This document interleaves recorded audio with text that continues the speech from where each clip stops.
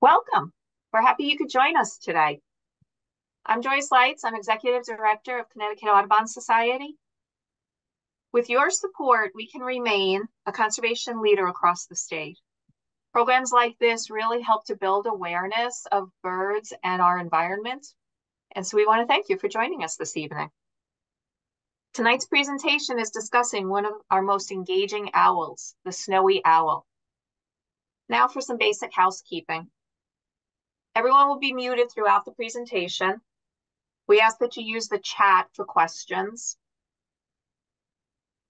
Um, you can activate the closed captions by going to more and selecting captions. We recommend using speaker view for the best viewing experience. You can find that in the upper right-hand corner of your screen. We'll be recording the presentation this evening and a link will be sent to all, sent to all of our subscribers. Now I'd like to introduce Stefan Martin. Stefan's our conservation manager. He's an avid birder, experienced sanctuary manager, and has been inspired by snowy owls. Stefan, thank you for leading this important conversation tonight. Oh, of course. Thank you for the introduction, Joyce. Um, so we have a fantastic evening uh, scheduled for everybody here. Um, obviously, snowy owls are just an absolutely magnificent bird and one that actually um, helped re-spark my interest in conservation. Back in 2014, it was January, so uh, almost 10 years ago, um, actually 10 years ago, almost to the day, um, we had a, a, eruption of snowy owls, which we'll hear a little bit about in a little bit. Um, and I went up to the Milford area uh, at dusk to uh, attempt to see some of these snowy owls flying over the marsh and just happened to be at the right place at the right time. Not only did I get to enjoy some of these snowy owls, but also saw a thick-billed murre, uh, which is a rare bird for our state. And that kind of re-sparked this passion of birding and bird watching in me. And I think without that, I'm, I'm not sure if I would be in the position I am now um, in a conservation role in the state of Connecticut. So that's just my quick anecdote, and I'm sure everybody here has um, a couple other stories as well to share. Um, so tonight's speaker is Rebecca McCabe, PhD, and tonight she'll be highlighting her research with snowy owls and give an overview on what she and the rest of the team over at Project Snowstorm have been learning over the past decade. She received a Bachelor of Science in Environmental Biology at Millersville University and a Master's in Biology at East Stroudsburg University, studying the nesting behavior of broadwing hawks in Pennsylvania. In 2021, she received a PhD from McGill University in Montreal, where she studied wintering snowy owls.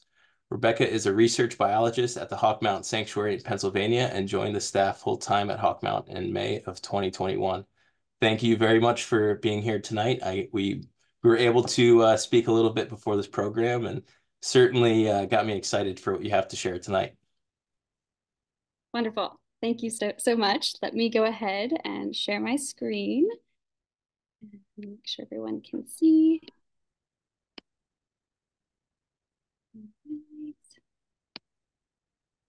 All right, looking okay on your end? That looks great. Perfect, okay. All right, so let me just change my little laser pointer here too so you can see when I'm pointing at things. Maybe it won't do it. Okay, I don't think it will, but you can still see the arrow, right? Okay, wonderful. And let me do this. Okay, well, thank you so much for the invitation from the Connecticut Audubon. Uh, I'm very honored to present um, part of the, the uh, series this evening, and a big thanks to everyone for uh, tuning into my talk. So I'm really excited to share with you some of the work that myself and my colleagues have been doing studying this magnificent uh, species that you see here on your screen. But before I dive into all things snowy owls, Tom did ask that I share a little bit of my story and sort of how I got started studying raptors. So here's a couple photos of a, a young Rebecca. Um, I always loved animals growing up. Um, I loved uh, just interacting with them. I really enjoyed nature, but I really was a city kid and really wasn't exposed to the outdoors that much. And once I got to the age where I needed to figure out what I needed to do with my life. Um, just like a lot of other kids, I really didn't know what I wanted to do. So I went to university and I stayed undeclared for my first two years. I thought I was gonna go into communications or journalism. Um, and then I ended up taking a couple of environmental classes that really piqued my interest. So I finally declared my major in the sciences, and this was completely, utterly overwhelming. um, I was overwhelmed by the course load, uh, the feeling that I wasn't smart or good enough to be in the sciences. And on top of that, my G GPA was actually suffering because I was taking physics and chemistry and botany, all while working full time as a waitress to pay for uh, college on my own. But lucky for me, um, I actually had um, an incredible, incredible mentor, Dr. John Wallace, and he saw something in me. He encouraged me to focus on my goals of becoming a biologist, and that meant reducing my hours at work and starting to get some real field experience. Um, and to do that, I needed to connect with local uh, conservation and wildlife organizations. And so I listened to Dr. Wallace and I did just that. So for his suggestion, I reached out to Hawk Mountain Sanctuary, located here in northeastern Pennsylvania, for various volunteer opportunities. And for those of you that are unfamiliar with Hawk Mountain, it's actually the first refuge for birds of prey in the world. It was established in 1934 by Dr. or by Rosalie Edge, and it sits along the Kittatinny Ridge, which is this forested mountain chain um, that is part of the Appalachian Mountain Range. And it's a really beautiful place to be, as you can see from the video there. Um, it's a migration highway for about 16 uh, raptor species, many other birds and insects.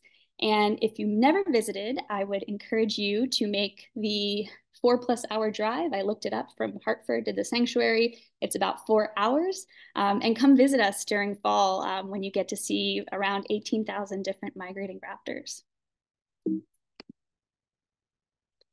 So I immediately fell in love with Hawk Mountain and the work they were doing, and I wanted to be more involved. So after I completed my bachelor's degree, I became a conservation science trainee here, um, while also starting my master's uh, studying broadwing hawks. And it was basically at this point that I realized I wanted to continue working with raptors. The time that I spent out in the forest searching for nests, sitting quietly, monitoring the adults and their young as they grew, and then, of course, capturing and tagging these birds and putting GPS trackers on them to follow them throughout their annual life cycle was really, really cool. And I was hooked.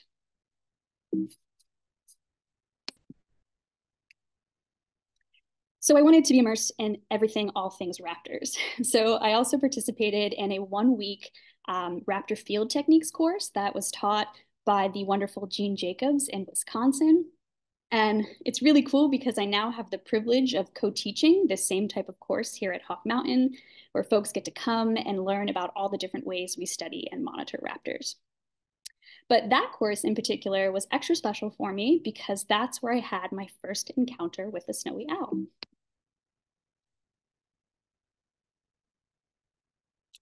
So fast forward to 2017, and I'm joining the team at Project Snowstorm.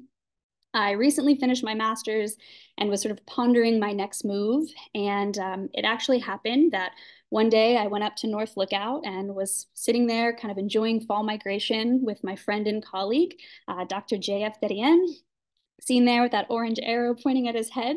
Um, we were just discussing my career path and he asked me if I was interested in doing a PhD on snowy owls who can say no to that?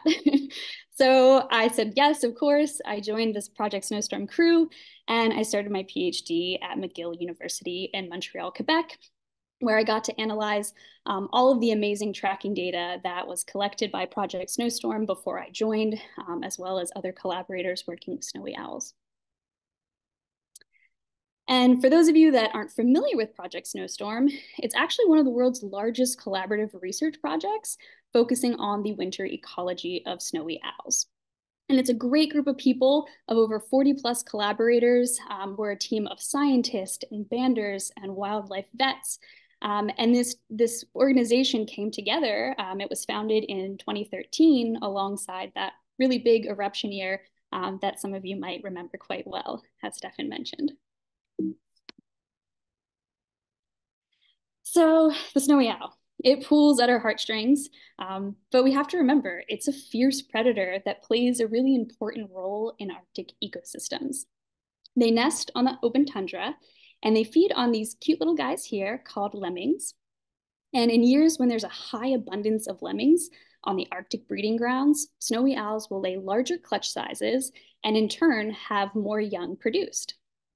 And so a great example of this is actually of this photo here, which shows um, about 70 or so lemmings, they were counted, um, surrounding, we can see here um, the eggs of the snowy owl, and actually one of them did hatch, so there's a chick um, you know, surrounding uh, surrounding the nest mound. And so this is a year where there's tons of lemmings, lots of food for the little owlets as they grow up, um, meaning that their chances of survival will be much higher. So here in North America, in years where many snowy owls are produced up in the Canadian Arctic, we sometimes get these things called winter eruptions. And as I mentioned, it's the years where there's lots of lemmings, lots of young produced, the clutch sizes are larger, and all of these young birds will now migrate south and winter alongside us humans. You can find them in open habitats and grasslands along coastlines. Um, and this like migration phenomena has been occurring and documented by humans, uh, I wanna say for almost two centuries now. So uh, I think the first one was documented in the early 1800s. And so this is a real treat when it happens. A lot of us birders and researchers um, get really excited. It's, it's a treat for all of us to see snowy owls this far south. So as I mentioned, the researchers, the banders were extra excited to see our favorite Arctic owl at these latitudes. Um, having the owls this far south allows for a low cost opportunity to trap and band owls um, when you think about traveling to the Arctic, what that entails, um, it's quite costly and can be very challenging to work with owls up in that landscape. So once we identify where the owls are and we trap them, we try to gather as much information as we can. We have this wild bird in hand and we want to learn from it as much as we possibly can. So we're measuring the bird, we're weighing the bird, we're looking at its molt, we're looking at its fat, its body condition, does it have any ectoparasites? Um, so we collect all that information and then for some individuals that are of the appropriate weight and body condition, we'll affix these really cool GPS, GSM tracking devices to them. And kind of like your cell phone, it tracks where you go. So it gets a coordinate for your locations um, and it sends that back and we're able to get on our computer and see where this bird has been. And this GPS device is attached what we call through the backpack harness method. And so we basically affix it to a non-abrasive material called Spectra or Teflon. And then we basically put it on the owl like a backpack. Um, this device here is one of our um, Argos devices and it has an antenna. Most of our devices don't have the antenna because uh, the owls tend to pull that off sometimes. But basically to give you an idea that this, these transmitters can weigh about as much as your average chicken egg.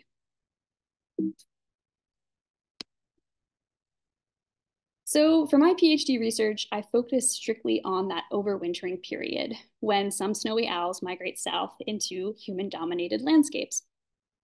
And the winter period accounts for over half of the bird's annual cycle, and few studies have really examined winter behavior of snowy owls, making this pretty important research to fill in the knowledge gaps of their ecology. So one of the big questions we wanted to tackle was survival we wanted to know what the causes of death were for wintering owls.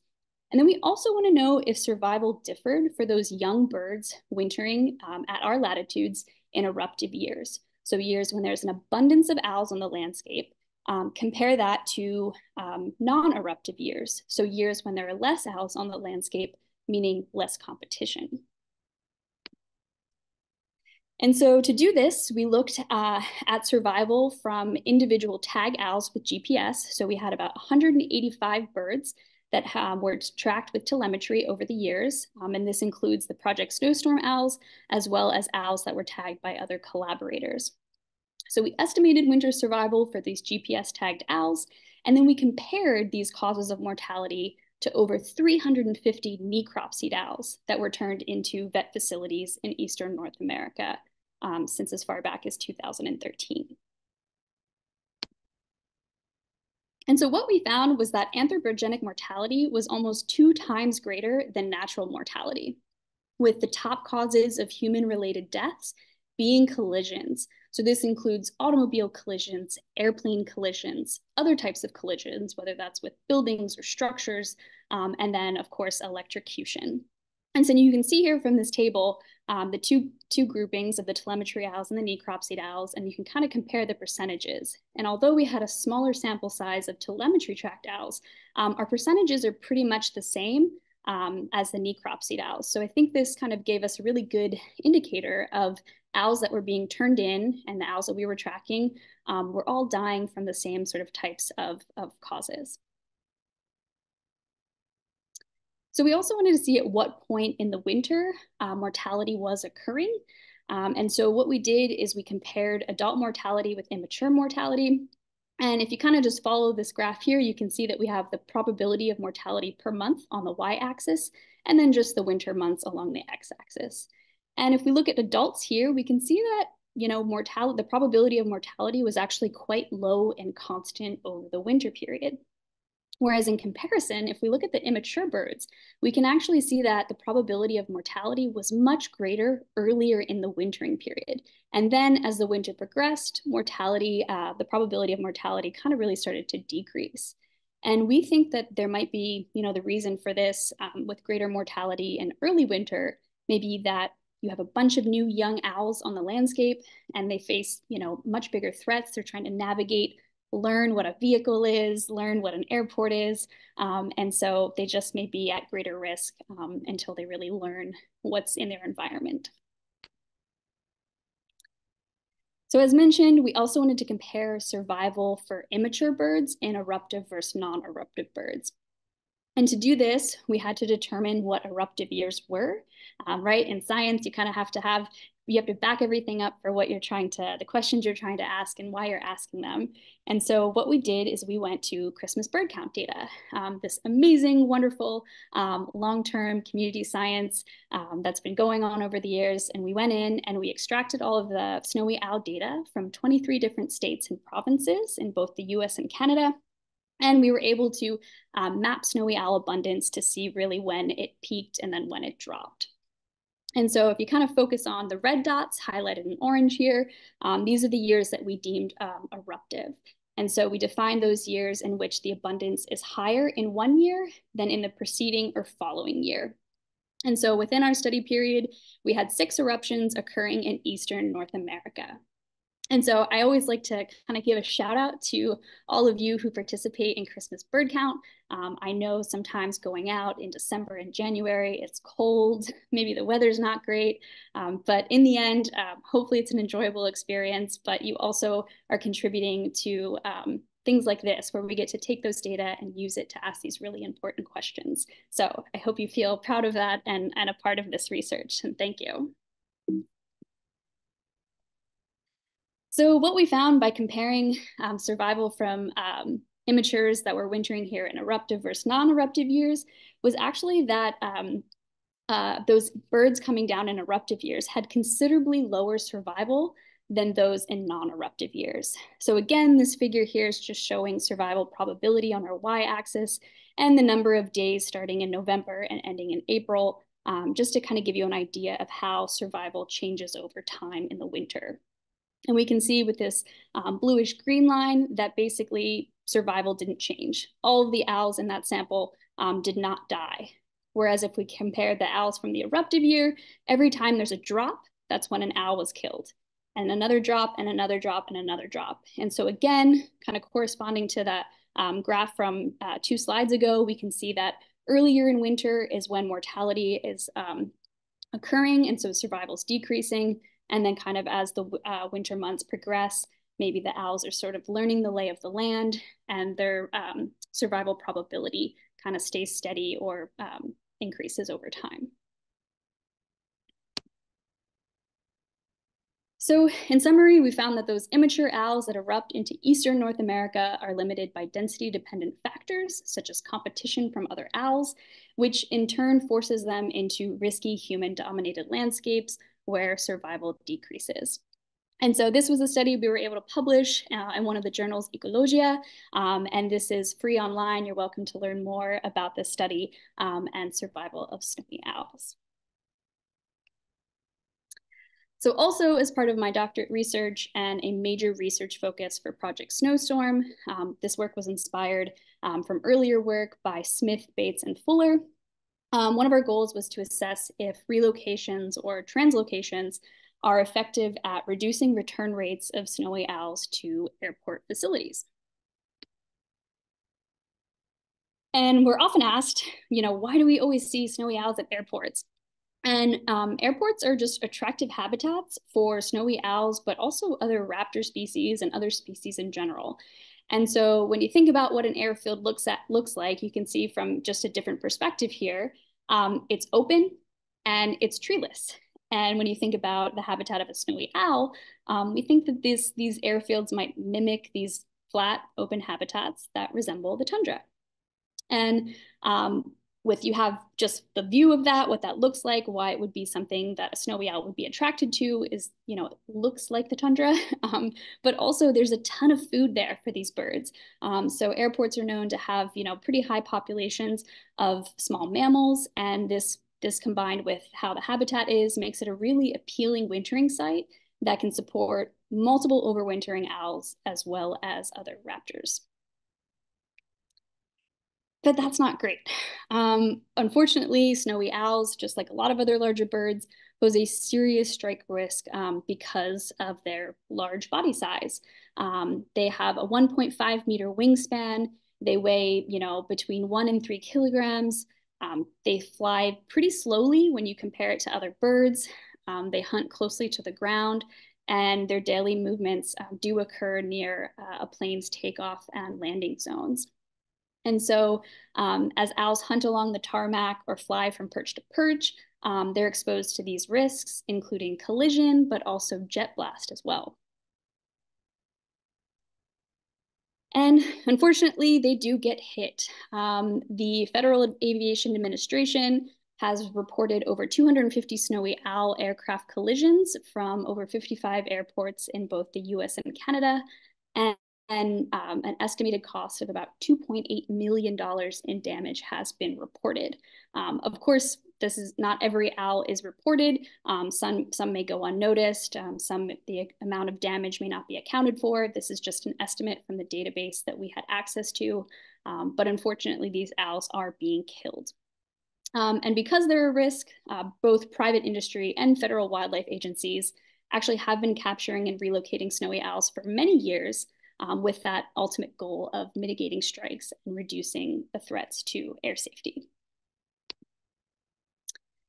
So um, with Project Snowstorm and other collaborators, we decided to look at how relocations um, to see if they were successful or not. And so over the years, owls were trapped at different airports in the US and Canada. Um, and we went as far back as 2000 um, with some of our collaborators' works, uh, the work they did. And of those owls, we had 42, about 21 adults and 21 in, uh, immatures that were affixed with these transmitters here and they were released um, at various sites away from the airfield. And so here's just a map giving you uh, a little view, a glimpse of what that looked like. Um, so of course we have all of the airports in these orange plane symbols. Um, so we had 13 airports in this study.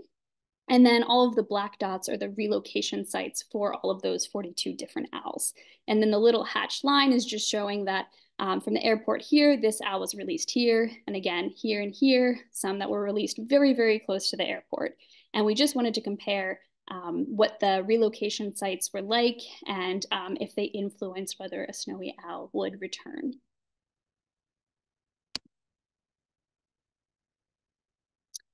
All right, so we found a couple different things. Um, we actually found that distance played a factor and a role on whether an owl would return. We have this figure here, um, which is just showing whether the bird returned or it did not return, and then distance on the um, x-axis. And we can see that all these little points are basically for individual birds. So all of these points here saying snowy owls returned, kind of returned when an owl was released closer to the airport. So say someone was like, we're gonna release the bird 10 kilometers away. Well, that's really nothing for a snowy owl. They can they can do that, move that distance quite easily. So what we found that as the further you remove and uh, relocate a bird from the airport, the less likely it would be to return. And we kind of found a sweet spot, which we don't know if it's, um, you know, it's, it's likely not the case for every owl and at every airport. But if you move the bird more than 100 kilometers from the airport it was trapped at, um, it reduces its probability of returning quite a bit. We also found um, that what the habitat was like and the land cover was like at the relocation site, that that also influenced on whether an owl would return. And so we found that um, relocation sites that had uh, more uh, croplands and more wetlands within them, that the owl would be less likely to return. And interestingly, we also found that um, immature females and adult males were less likely to return than adult females and immature males. And so again, you're kind of thinking like, why would that be important? Um, for snowy owls and like a lot of our other raptors, um, the females are larger in size. And so they're often more dominant. And what'll happen is those adult females will sort of stake their territory and claim it and defend it. And so it sort of makes sense that those female owls would, would want to come back because it's a good habitat. There's plenty of food. They want to get everybody else out of there so they can stay. Whereas the immature females, again, in the kind of a little bit lower in the hierarchy, as well as the adult males, so they don't want to compete with the adult female. And then you have those immature males, which are, you know, the, the most submissive of the group, and they'll do a lot of wandering and they won't um, really compete as much. And so that kind of matched up um, with what our hypothesis was. But the really great thing is we found within this study that um, relocation had a 67% success rate. So of our 42 owls, only a third returned to the airport. And this is really encouraging when you think about the time and the energy and the money that goes into um, trapping owls on the airfield and relocating them, um, that this might actually be um, worthwhile doing and something that we should encourage um, all of the wildlife agencies and private industry to be doing um, at their airports. So just learning about owls and airports, um, we also were just kind of curious about how long it takes for an owl to uh, return to the airport after it's been relocated. So like I mentioned, of those 42 owls, um, about 14 of them did return after uh, being relocated. And we wa wanted to understand why and how long and what uh, factors may have influenced that. And so here's just an example of one of the birds that we relocated. Um, it was trapped at the Montreal Pierre Elliott Trudeau International Airport. And um, we trapped it, we put a transmitter on it, and we relocated it here. And then you could see the yellow star is the area of release. And then we could kind of watch the bird as it kind of moseys around and then crosses over the St. Lawrence. You know, we think, okay, maybe it's going to go south. And then it ends up kind of moving through the farm fields all around. We're like, okay, maybe it'll stay here. And then we see this happen. And then we start to bite our nails and go, oh no, please don't do it. And then the bird goes right back to the airport. And this happened, um, these movements that you see here was just one week after being relocated. And we haven't had the chance to, to really dive into this as far as the research side of it goes, but really trying to understand how the owl knows to go back to the airport. Um, there's just some theories that are being kind of tossed around, um, but we haven't quite figured it out because if you think about it, you know, the owl sort of kind of did these movements, but then made its way in the direction of the airport. Um, so what is it cueing in on in the environment? Are there sounds? Are there visual aids? Um, and how did it know to go back there? Because we had individuals that were young of the year. It's their first time being at the airport. It's not like they were there last winter or two winters ago. So they're familiar, they know the lay of the land. Um, it can happen with young birds, and we'll often see from their tracking data that they just like beeline it right back to the airport. So really interesting, lots of questions come, more questions come with the research that you do. Um, so we'd like to look into this in, in the future. But we did find that it took about two weeks, a little more than two weeks um, for birds to, to make their way back to the airport. We also wanted to take a look at the strike data because this was available from the Federal Aviation Administration's uh, wildlife strike database. And as I mentioned, we had over 250 snowy owls reported um, over a um, about 11 year time frame. And so we actually found that the number of strikes varied um, among months. So as I mentioned before, we're studying the winter period. We want to know um, what's the riskiest time for owls when they come this far south. And we actually saw that um, a lot of the birds were reported, um, had reported collisions with aircrafts in December. And this was happening on the runways. And so we, again, kind of like our mortality data, we could see that, you know, hey, maybe December is a really good time um, for managers to be out on the airfield trying to trap um, snowy owls and relocate them.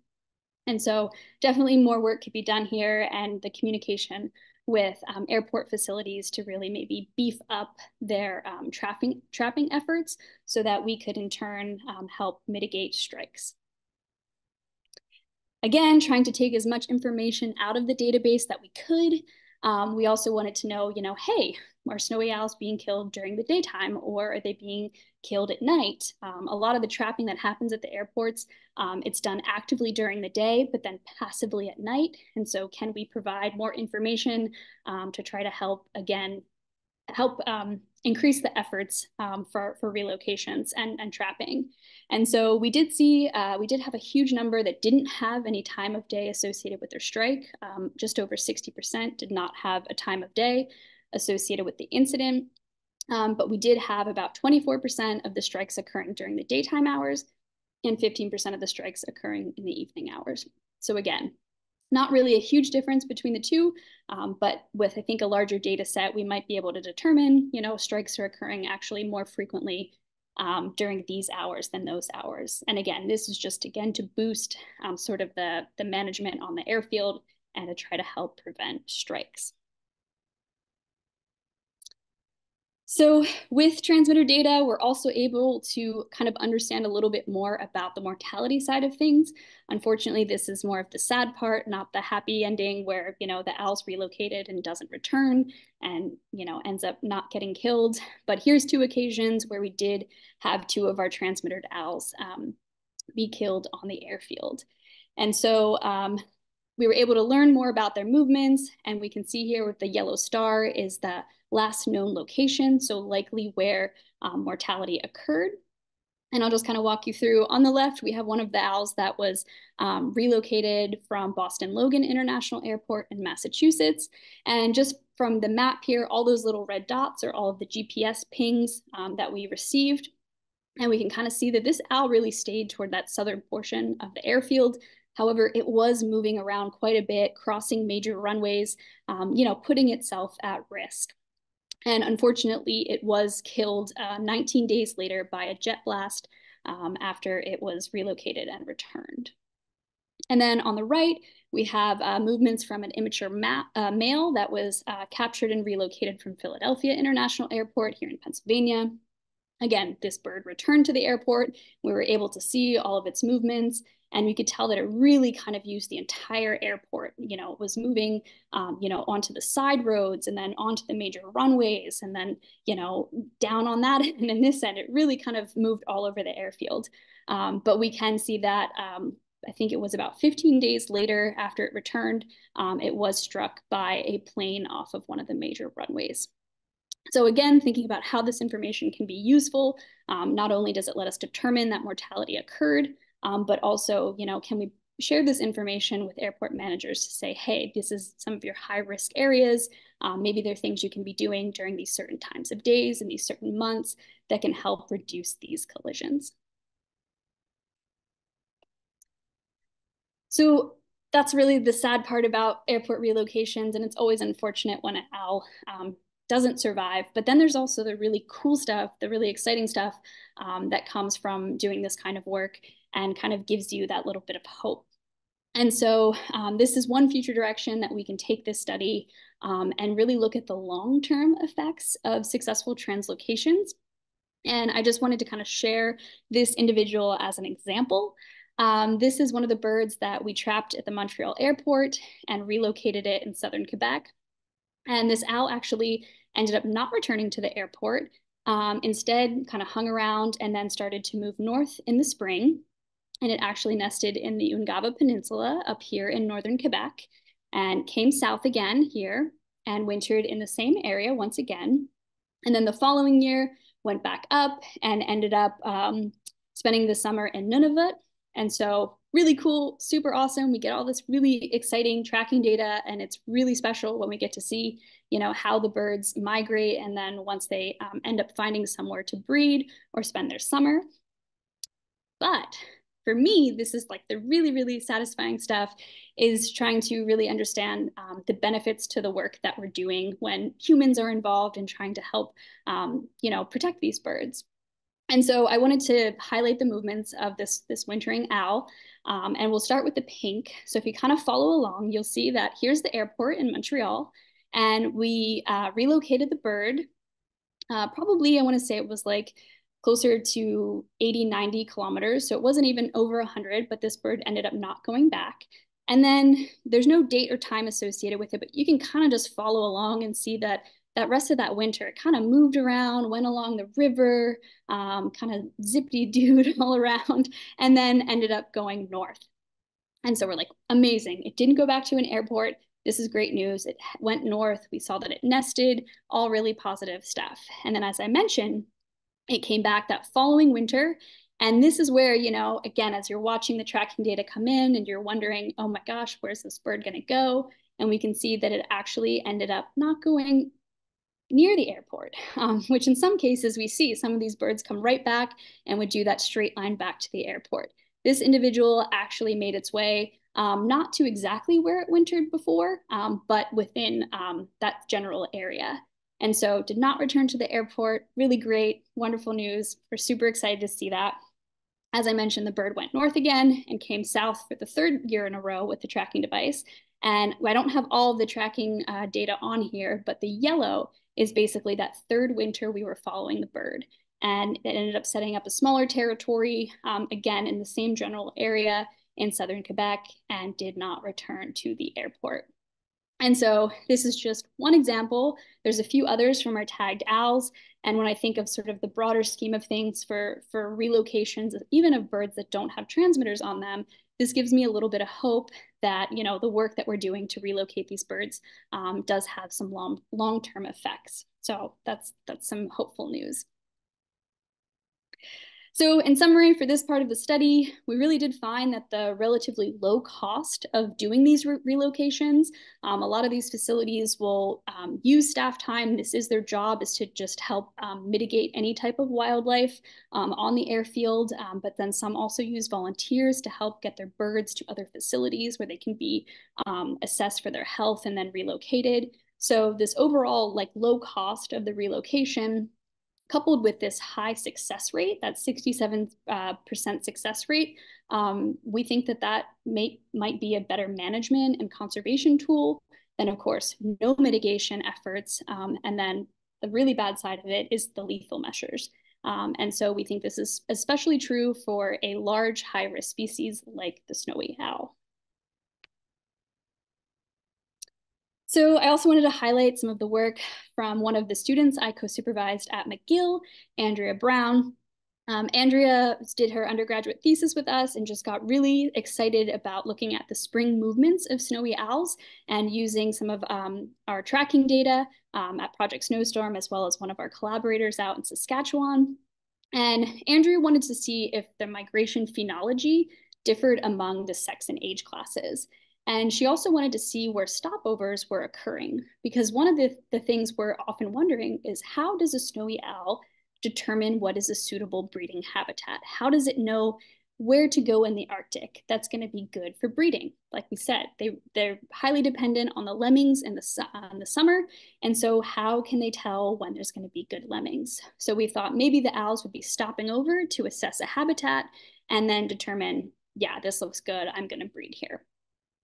So in this collaborative study, we actually found that the majority of stopovers were occurring at the beginning of migration compared to the end, suggesting that snowy owls are not really using uh, stopovers to select their summer breeding sites, but instead are using them like a lot of the other species to rest and feed on migration.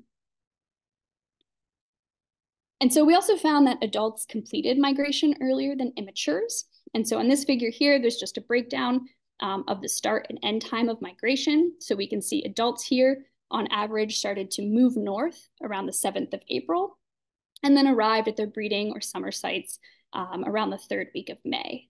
In comparison, immatures started a little bit later, um, kind of had, to, had to wake up and, and stretch their wings and get ready for, for migration. Um, and they ended up not settling until the middle of June. Of course, there's no real rush to get up north. You're not breeding um, as a as a second year owl, um, so you don't have to kind of uh, be in so much of a rush as the adult. And then we also just wanted to see if there was any difference between males and females, and not a huge difference there.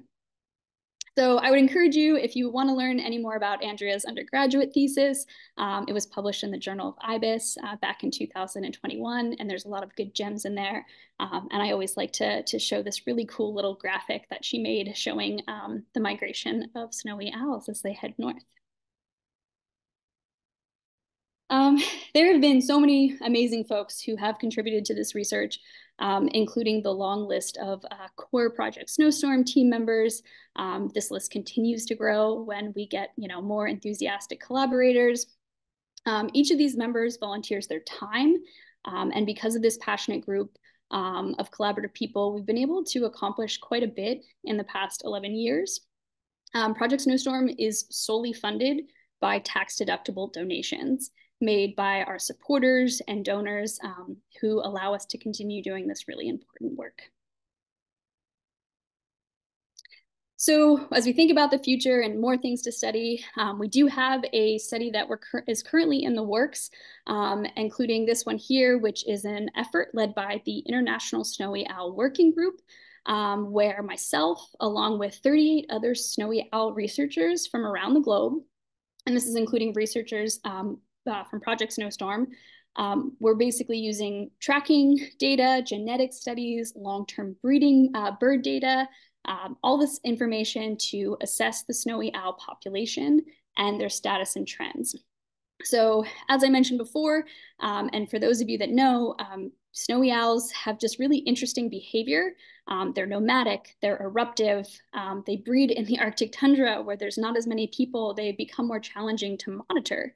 And so um, the IUCN, the International Union for Conservation of Nature, uh, within the last couple of years actually uplisted them from least concern to vulnerable based on some population estimates um, that were done. And we're trying to take all of the science and all the information we have and say, well, what's really going on with the population? And are they increasing or should they still be vulnerable?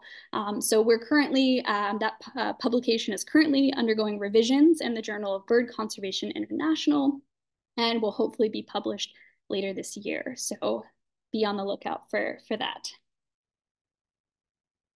Project Snowstorm also has this incredible team of wildlife vets um, that have been looking at the health and contaminant issues in both live owls that we trap, um, but also salvaged owls, so birds that are brought in uh, for necropsy.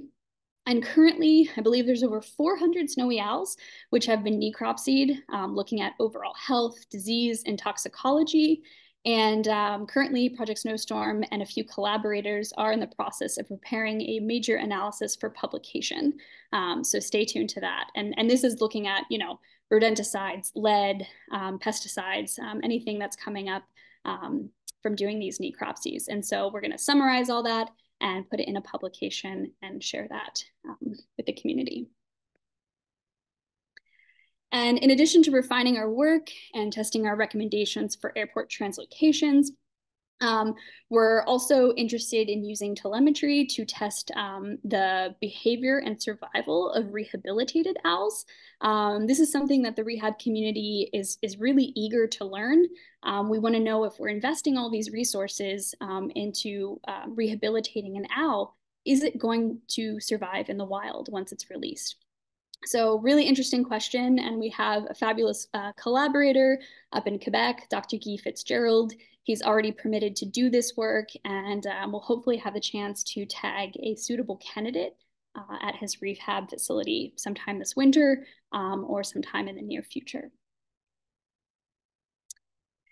And because Snowstorm is entirely publicly funded, um, we do our best to keep engaged with our supporters. Um, it's just really important, just as the science we do, but also the education and the communication. Um, our website is filled with really great information, including interactive tracking maps, um, an educational blog that's crafted by the brilliant and eloquent Scott Weidensaul. So I really encourage you to check out the website, um, look around, and, and, and learn more about uh, the work we're doing over at Project Snowstorm. You can also find these really cool eye-catching infographics that we created with the help from Fuse Consulting. Uh, this first infographic here talks about eruptions and why we sometimes see owls this far south in winter. Um, again, there was a lot of topic, you know, owls are coming this far south, they're starving, they're dying, you know, what's going on. And with our research and the science we're doing, we were able to determine that that's not the case. And so we wanted to summarize that and put it in this really nice little package um, so that people can, can stay informed. And we also have the second one that focuses on snowy owl, uh, snowy owl health and etiquette for observing owls in the wild. Um, the really cool thing about both of these infographics is that they're on our website, so you can find them there. Um, but we have this feature that allows you to download them as either a PDF or a JPEG on your computer or your mobile device. So this means you can um, share this on social media or with your friends and your family um, and help us continue to spread the word um, about our research and educating others about the snowy owl. And I kind of like to wrap up and, and bring this uh, point up because as a biologist and someone who cares deeply about nature, I am constantly reflecting and asking myself, what can I do or how can I help? Um, when it comes to taking care of the environment and the species that inhabit it.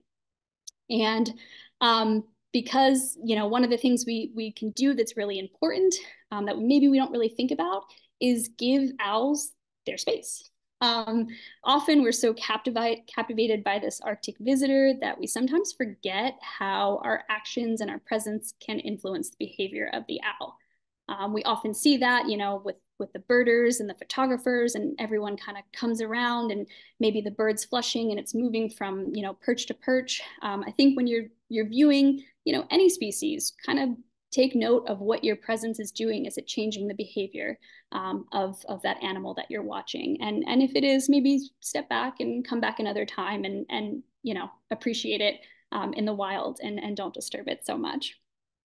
Um, another thing you can do is educate others about the importance of owls um, and their role in the ecosystem. Uh, just your enthusiasm and your excitement talking about them and sharing that knowledge with others, um, I think in turn does protect these birds and, and gets people um, to care a little bit more. Um, you can also support your local rehab facility. Um, these are the people that are caring for those sick and injured owls. So helping in any way that you can is, is really, really great. And finally, um, you can support organizations just like Hawk Mountain and Project Snowstorm that have ongoing research and public engagement like Connecticut Audubon um, that are trying to find ways um, in which to conserve snowy owls and other wildlife. And I'd like to just say that this research is highly, highly collaborative. Um, so a huge thanks to everyone who contributed, including my supervisors, Kyle Elliott, Karen Wiebe, Gilles Gauthier, um, everyone at Project Snowstorm, all of the funding sources, the banders, um, anyone who has supported Snowstorm and Snowy Owl research over the years. I would say that I am very fortunate to have joined the team back in 2017 when so much of this work was already underway. And I'm grateful to everyone listed here, um, as well as all the other collaborators and donors who share um, their same love and passion for this enigmatic species. And with that, I would be happy to take any questions. Awesome. Thank you so much. Yeah, you're um, welcome. I saw questions were slowly coming in. I was I was shocked. I think you were hitting everything. Uh, any question that folks had to ask, you already were answering them. Um, but I'll get the ball rolling with just one that I have here. Uh, in your research, do you happen to know the average lifespan of a wild snowy owl? Oh, yes. Um, I think the bird banding lab had the oldest one just under, was it under 30 years old? Now I might be confusing it with a bald eagle. Um, it's it's well over 20 years. Wow. Yeah, I think so for the for the banded one. but yeah, we it, it, it's really challenging to get that information with when you think about tracking devices, they have a shorter lifespan. Um, so we really have to depend on um, banding data. And again, this isn't a species that you're, many people are capturing. Um, we do have a really good network here with banders and collaborators, um, but we, we do need, you know, that long-term data to, to help answer those questions. So. Thank you.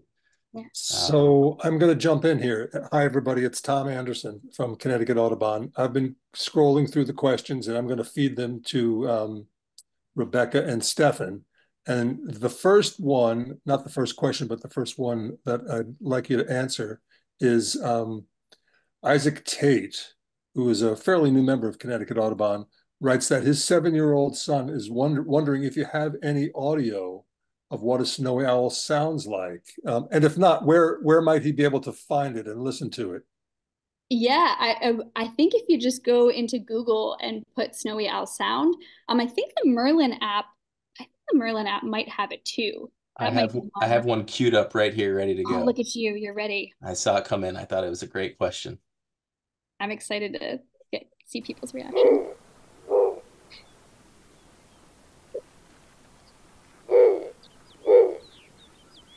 I don't know if folks are able to hear that at all. So um, another question from I think it's from Brenda Rich, who is um, who for a long time has been one of our Osprey Nation observers. Um, but Brenda says for repeat offenders, in other words, the, the the birds that have been returned to an airport after being relocated, has ever, anyone ever considered taking them captive somehow in a somewhat protective custody, but in a non-human contact situation like a tracking tower, like a hacking tower, until it's time for them to migrate north again. To my knowledge, that has not been done. Um, that's a pretty invasive way of sort of, um, yeah, managing their their movements. I think we know that some owls are going to go back and use the airport. Um, but we don't want to keep them, you know, from interacting in the wild in that sense. And so um, we do have some tests that are going on where if we keep the owl overnight, let's say, um, and see if you know if you hold the owl for 24 hours, uh, we're all we're permitted to we have permits to do this, and and it's okay. The owl's fine. It's it's not you know um, in any danger. But we if we hold it, you know, will will it be less likely to return? So we're, we're trying different things to see if that influences um, time of year. There's a lot of people who think if you relocate an owl in early winter, the chances of it coming back are going to be much greater. Um, we sometimes see even if the relocation is successful, um, on their way back north, they'll kind of use the uh, airport as a quick stopover. So um, they won't be spending the winter there, but you know they'll come in for a meal before they head up north. So there's no one size fits all for for a solution. Um, you know, we're talking. There's other studies with red-tailed hawks where they say they've tested that if you leave the you know a pair on site and you don't uh, relocate them, it actually reduces the number of red tails coming in over time. So there's this theory of like, what if you had some of the dominant birds stay? could that in theory reduce the number of owls on the airfield and in turn you know reduce the number of strikes and so um, you know this this is the study we did and we published just sort of just scratching the surface and i think it's quite complex when you look at the different airports their habitats the location eruption year versus non-eruption year the number of flights on the runways um, it's it's it really um, is is challenging to tackle and so i think um, you know, ideas like that are, are definitely, you know, worth talking about and seeing if, if there is a, a solution that that works for all. But um, that has not been something that we've we've talked about. Um, so no, next question from um, someone whose last name I don't know, Dottie. Of all the owls in Connecticut, what percentage of the of those are snowy owls, um, and can they be spotted before dusk? I see Connecticut Audubon Society photos taken, and it seems like in the daylight. So, I, so that's a question of basically how common are they in Connecticut compared to other owls, and are they diurnal or nocturnal? Yes. So I would say they're common uh, in those eruptive years. So when, you know, those happen every three to five years. So you're not going to necessarily see an owl every winter. Um, I think I checked eBird. You have no current sightings of any snowy owls this year. So your chances of seeing one this year are not not looking good at this point.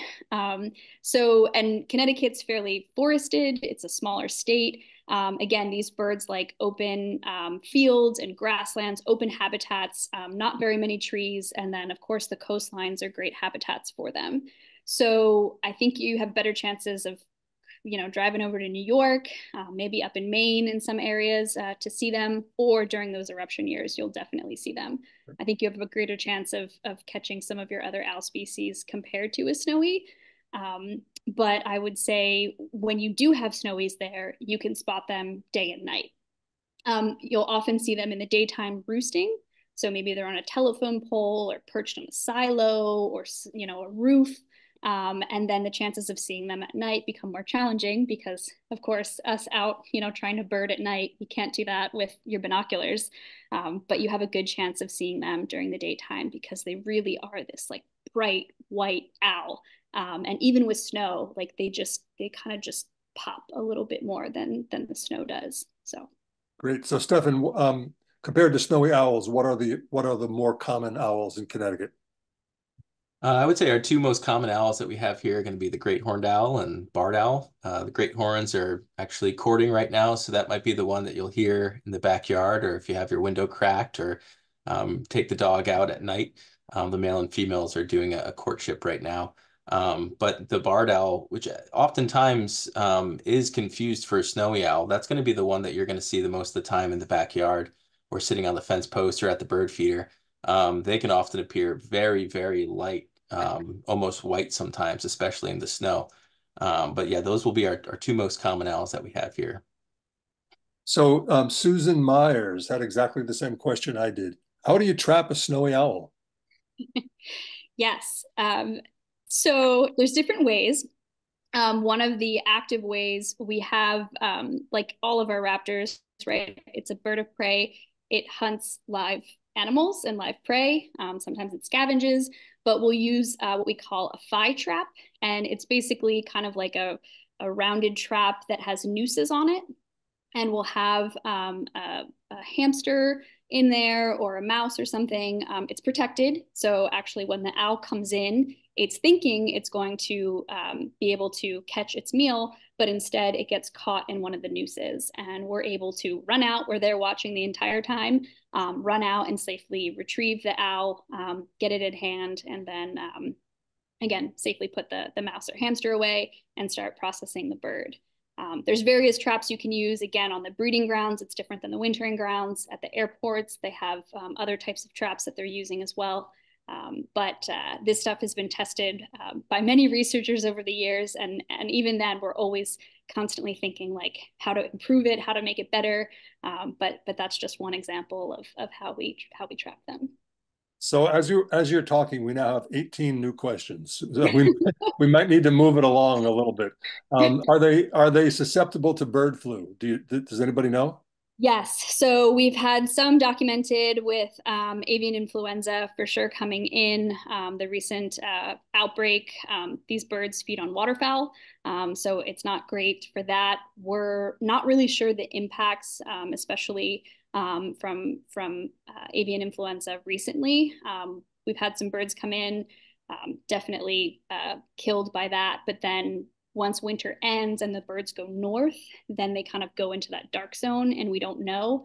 And this year at Project Snowstorm, we were kind of nervous, wondering, you know, the birds that we have transmitted, they should be coming back south. We should get a ping saying they're back. And it just was silence up until I think it was last week. Two of our, our birds that are transmitting came came back south again. And so that's good news because we were sort of fearing that as the birds were migrating north and they were feeding on possibly infected waterfowl that um, they weren't going to survive. But we we really just don't know um, the full impacts of that. But it, it, it is killing them, unfortunately.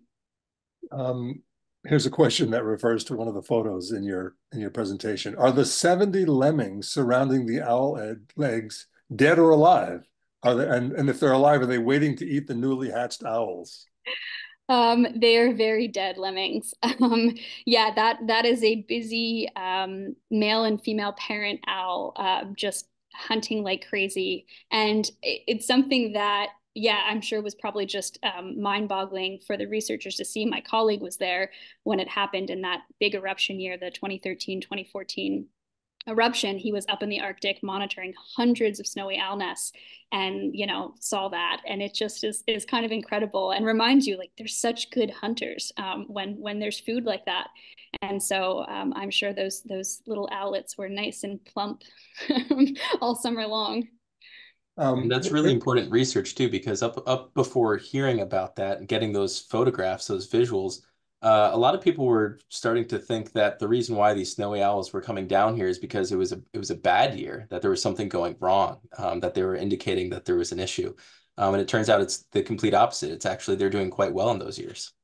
Right. And I'd like to add that that's sort of why we made that infographic too, because we still get that, right? And, and information sometimes doesn't travel quickly and, and, you know, people have their ideas but we are trying to share that because even when we're trapping the owls, um, all of the banders across the U.S. and Canada that are just trapping these owls, you know, to put bands on them and collect, you know, that that information, are finding that a lot of the birds aren't starving. They're actually in really good condition. So that's really reassuring for us as the researchers to know that, you know, the owls out there are doing well, but the owls that are coming into rehab facilities, of course, usually aren't doing well right? So just to kind of give you that comparison. So to your point, it's it's it is really important research um, and useful for us to know.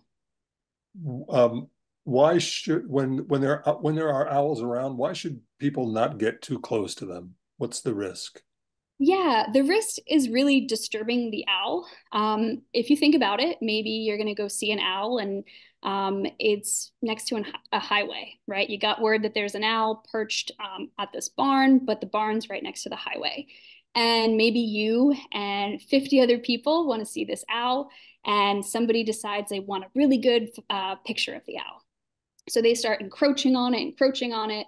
And then the owl, of course, does not want to be approached by humans, takes off, starts to fly, they fly low to the ground and what if it crosses that highway? And what if on that that you know on that highway a truck's coming? And like so i think it's things like that to just think about that you are impacting the bird and its natural behaviors. And even then if you're there and you're disturbing the bird and it has to continue to move from perch to perch that's like somebody waking you up every 20 minutes while you're sleeping and going like hey hey you know? So like the owls are roosting they're sleeping they're trying to rest. We want them to be successful at hunting and surviving in the winter. So if humans are constantly um, approaching them then then that may be impacting them. And and we really don't know the the overall impacts of that, we can just see from our tracking data and as well as observations in the field that um, sometimes when people just get a little too close, it really does push the birds and can can put them in dangerous situations that we just don't want to do.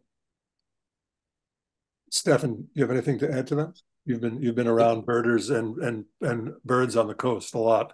Yeah, it's oftentimes very frustrating to uh, come across an instance like that where you have um, some folks who and, and you know, honestly, it's a lot of it's ignorance, and I don't say that in a negative way. It's just not knowing exactly what you're doing to this bird. And I think uh, talks like this are very informative uh, to let folks know exactly the impact that uh, they will have on that bird. You know, they are phenomenal hunters and great predators, but oftentimes in these eruption years, you know, it's cold, it's snowy, there's not a ton of food around. These birds are are um, going to be increasing their calorie intake um, if they're going to keep moving from perch to perch, it's going to be a little more difficult for them to survive. So I echo that. Please uh, practice appropriate field craft. And if you ever have any questions uh, on how uh, to uh, uh, practice better field craft, I'm always available. Please shoot me an email or join us on our bird walks. Um, I often try to, to share best practices as well.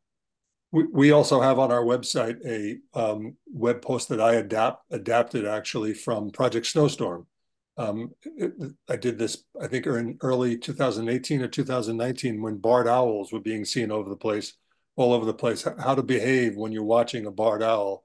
Um, you can Google that. It's still one of the most popular things on our website. People uh, uh, look it up all the time.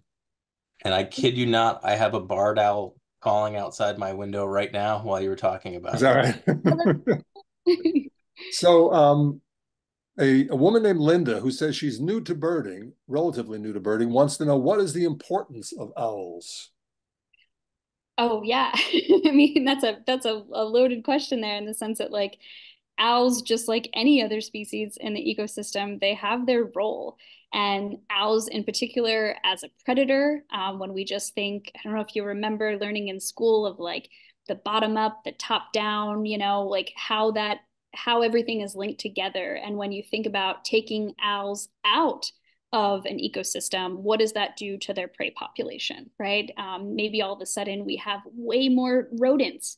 Um, and so we need those predators to keep things in balance. Um, and owls are spectacular predators and really good at, at helping um, us keep the, the ecosystem in balance. So even if you're not a, you know, a birder or you even really care about, you know, the fine details of what the species is um, or these species are doing, um, they have really important roles um, that you know are just eh, yeah you know just very general and and and are important uh, in keeping our ecosystems healthy, which in turn keep us healthy. Terrific. So here's a question from Sylvia Halkin, who a lot of people at our organization know. She is a um, biology professor actually at Connecticut State University, and she says um, fantastic talk.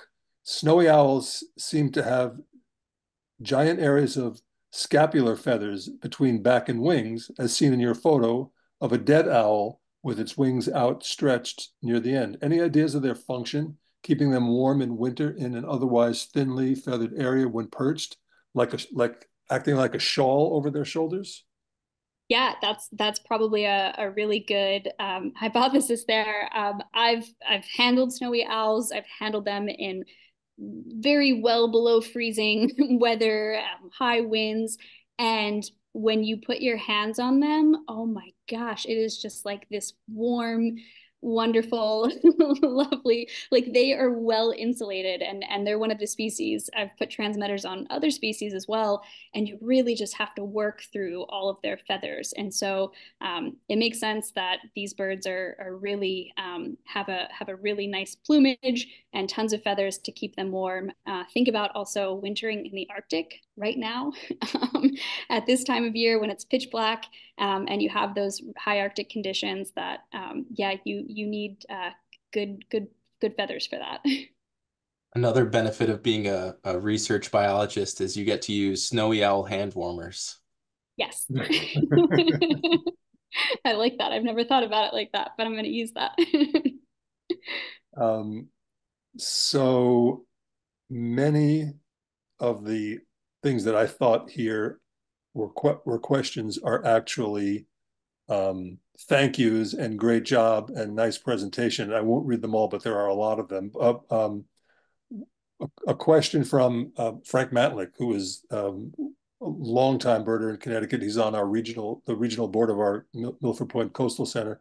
He says this is obviously an off year for snowy owls migrating down to Connecticut. Where are the closest birds to Connecticut this winter? Um, when I last checked on eBird, there was some in New York. I think there was a couple of sightings in northern Maine.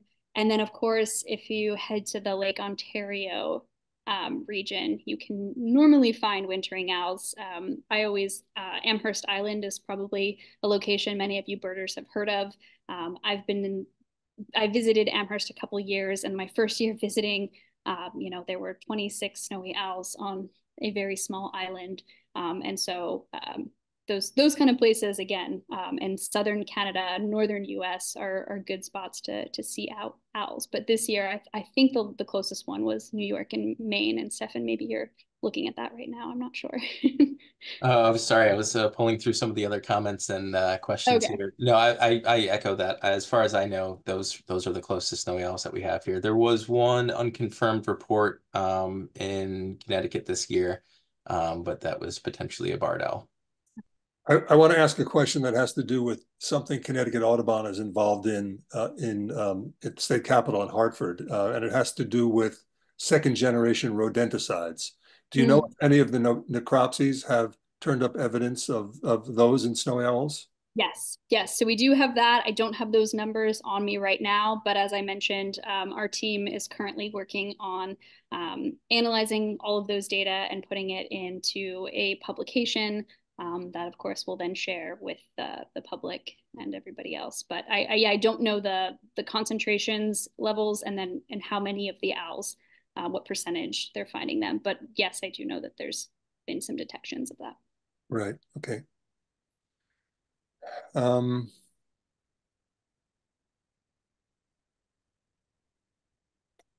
when are snowy owls removed from airports for their own good or for airport safety or for both? Yeah, I think it's both.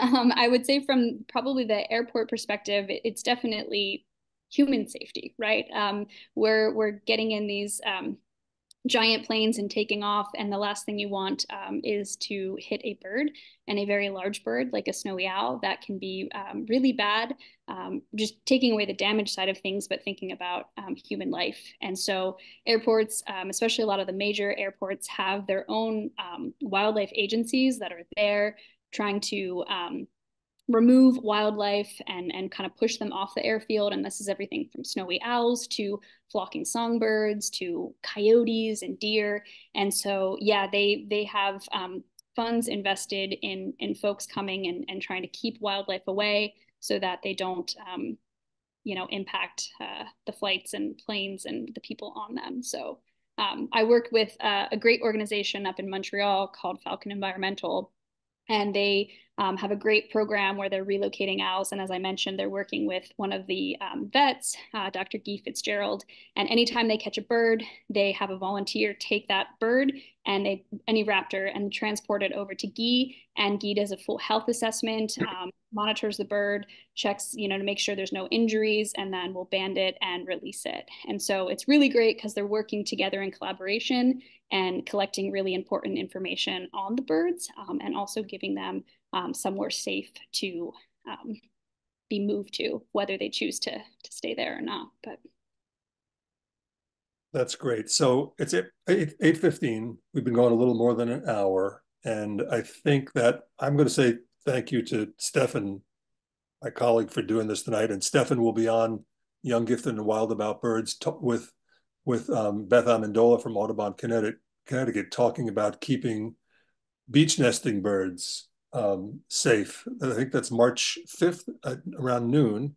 Um, Rebecca, this was really great. Thanks for getting on. Um, I, I, I, now, however, I'm going to um, reintroduce Joyce Lights, our executive director, who is going to, I no doubt, thank you again and thank everybody else. So, Joyce, it's all yours.